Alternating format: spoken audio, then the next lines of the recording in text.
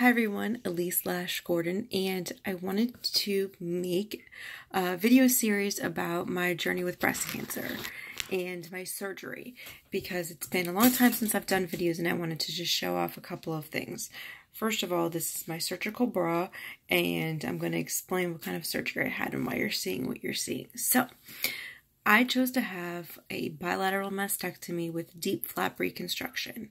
And what that means is that although I only have breast cancer in one breast, I choose to have both removed because I don't want to do breast cancer again. So now I have no breast tissue.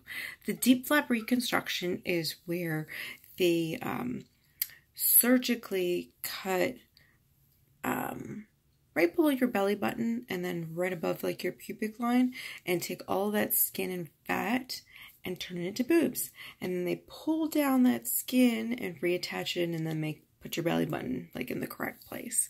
So that's the surgery that I chose to have.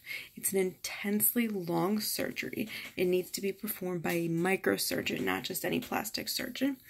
And the cool part about my surgery is that my breast surgeon was able to, and let me, so I, I'll get back to my breast surgeon in a minute, but I chose not to keep my nipples. I just, you may or may not have feeling, they may or may not be erect, and because nobody could really tell me what was going to look like after, I just decided, eh, let's not keep those. So my breast surgeon was able to surgically cut around my areolas and do the entire mastectomy through that hole. The plastic surgeon then was able to insert all of that fat as well as skin into that hole and create these breasts. So they're still swollen, which is why you can kind of see around the areola, they're just kind of swollen in that area. They're swollen all over, rather. So that is the um, surgery that I chose to have. Uh, following surgery, I had three drains. I had one drain on each side of these new breasts, and I also had a drain uh, at the waistline, not the waistline, but I guess lower than that, where that incision was. So I had three drains, and the one at the waist was uh, had an extra large tube, which I thought was really interesting because they put it in a few places, and that's for draining fluids um, from the area so they don't get built up under your skin and in your body. And I chose this surgery uh, for a couple of reasons.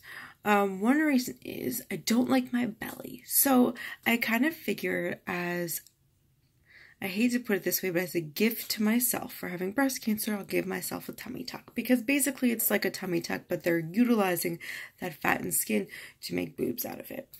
If somebody does not have enough in their tummy area, they can take it from your legs, from your back, from all different types of places. So that is what I had. Also, what I learned about breast implants. So here's the thing.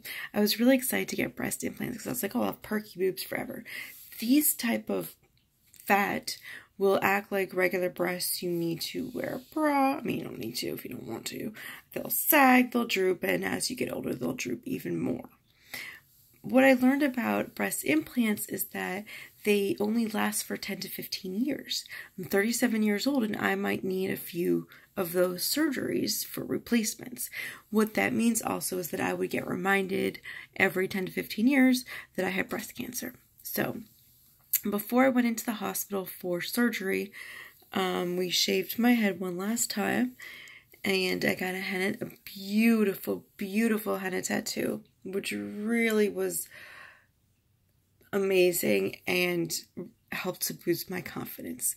So that is the surgery that I chose to have and what that looks like. And I'm gonna my next video will be more about um, my hospital stay and post-op and what that looked like. So thanks for tuning in. See you next time.